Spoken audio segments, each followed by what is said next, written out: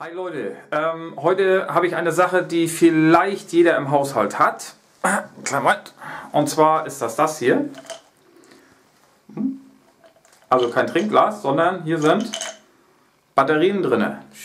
Einmal ran. Batterien. Leere, halbleere, volle. Kennt ihr das? Da reißt man die Packung auf und dann braucht man eine Batterie davon und die restlichen 6, 8, 10, was weiß ich, wie viel da drin sind, die kugeln dann alle so raus. Weil diese ganzen Verpackungen dann eben ja nicht so geeignet sind. Dann nimmt man die und packt die irgendwo in so einen Becher rein oder in eine Schublade oder jeder hat da so seine Verstecke. Und was passiert, wenn die ganz blöde liegen? Dann kann es zu einem Kurzschluss kommen.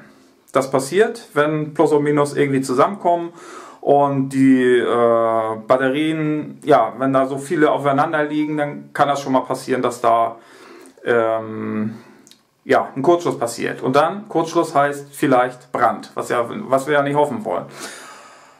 Und da habe ich mir was einfallen lassen, äh, ja, damit das eben nicht passiert.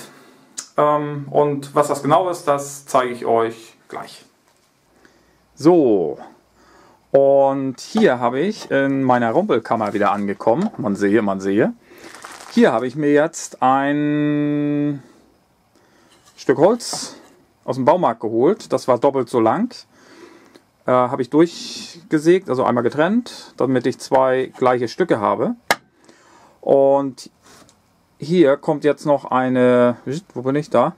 Hier kommt noch eine äh, Halterung ran, dass ich den, äh, dieses Stück Holz dann auch an die Wand schrauben kann.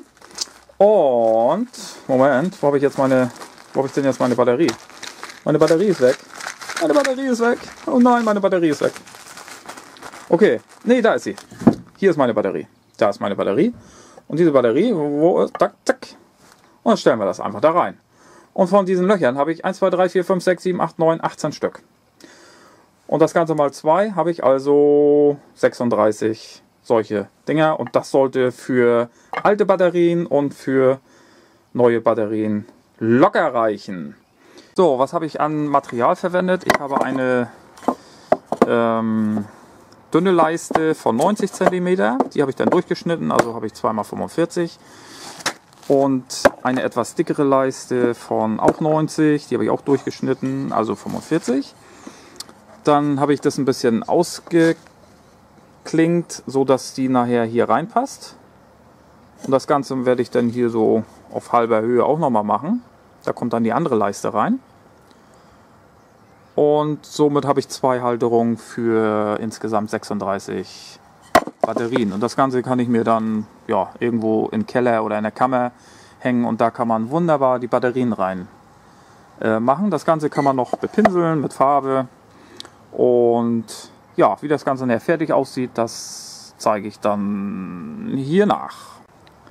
Für die Löcher habe ich verwendet äh, diese Art Bohrer. Einmal für diese kleinen 3xA Batterien, äh, 12 mm und für die großen Doppel-A-Batterien 16. Weil die großen A sind 14 und die kleinen sind 10. Da diese Bohrer aber jetzt in meinem Sortiment nicht vorhanden war, habe ich jetzt diese genommen und das geht auch. Jetzt ist das äh, Regal fertig. Und klar, einen Preis äh, kann und will ich auch gar nicht damit verdienen, aber es erfüllt seinen Zweck. Ich habe das hier in meine Kammer an die Wand geschraubt und äh, wie ihr sehen könnt, habe ich hier meine äh, Batterien äh, reingestellt.